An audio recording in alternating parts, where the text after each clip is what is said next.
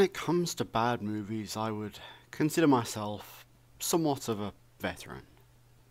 From a sentient tire with psychic powers to Ron Jeremy's penis breaking off and going on a killing spree to a giant sperm humping the Statue of Liberty to two movies about a bed that eat people and to all six Sharknado movies and both Birdemic films. I'm a scarred movie soldier and I've seen some shit. So bracing myself, I charged into Killer Sofa. But is this Barker and Stonehouse? Or IKEA? Advertised as a comedy horror, because logically it had to be, right? Let me clarify and tell you this is a lie. This New Zealand made movie about a killer sofa, no, literal killer sofa, is played very straight. There is no comedy, and that in itself doomed the film to fail.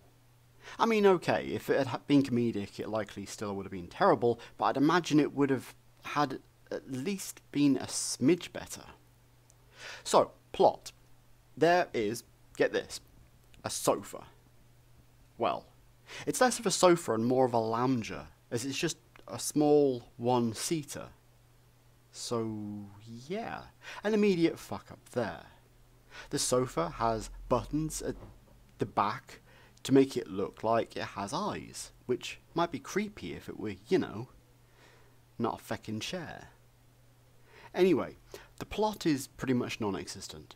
The sofa proceeds to kill people. Stop laughing, I'm being serious. It kills them in a number of ways, including killing them with its extendable springs, for some reason. The kills, however, are dreadful off screen and dodgy camera type ones to make up for the lack of budget. As I've said before, the kills are essential for a horror movie, so why they'd pull this shit is beyond me. Anyway, this lounger kills a few people. The cast are terrible, the plot is non existent, there are zero laughs, you simply cannot take the antagonist seriously, and it's so bad it doesn't even enter the realms of novelty value. A killer sofa, you think? That'll at least be original. I assure you, it's not worth it. Then it hits you with a twist at the end, which, when you stop and think about it, based on everything you've already seen, it makes absolutely no sense at all. Had they played it slightly differently, it could have redeemed the film. Slightly. But instead, it kills it outright.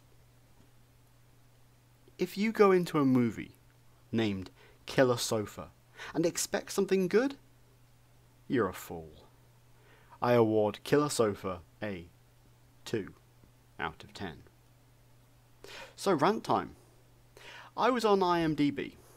I use the site simply as reference these days, and I won't rant about my dealings with them or CEO Col Needham. Fuck you, Col. But as you can imagine, a movie like this doesn't have a vast amount of content on its page. No trivia, no goofs, no connections. Only two of the casts even have photos on their on their profiles. So, well, let's just say this: the height of its contributions are the keywords. Wait, no, keyword singular. That's right. Some kind soul had added a keyword, and it's girl. Yep, one keyword for the movie, and it's the word girl. I don't know if this is a further highlight of the incompetence of the IMDb contributors, or how there is such little to say about this clusterfuck of a movie. So, what did you think of Killer Sofa? What's the weirdest film that you've seen? Does a one-seater constitute as a sofa? Tell me in the comments below. Like this video, and if you haven't already, please subscribe. Later folks, and uh, watch where you sit.